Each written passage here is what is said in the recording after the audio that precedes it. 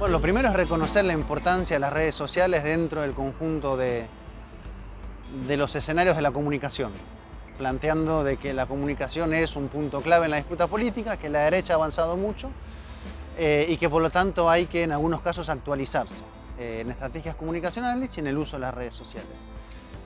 La gran pregunta es primero cómo aprender a utilizarlas, sobre eso hay varios ensayos, y luego qué vehiculizar a través de eso.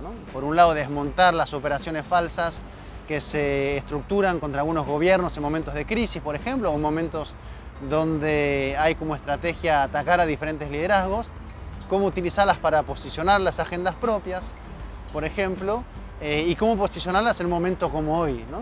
Estamos en una crisis global, estamos ante un conjunto de movimientos muy complejos de la geopolítica, ahí eso es un instrumento, pero es eso, un instrumento sobre el cual hay que ver qué uso darle. Lo primero es reconocer que hay que utilizarla con mucha fuerza, no quiere decir que sea eso u otra cosa, sino que con lo que ya se venía haciendo, a eso hay que sumarle otros instrumentos más, donde no lo hay, y pensar en la integralidad. Las fuerzas de derecha trabajan sobre todos los terrenos.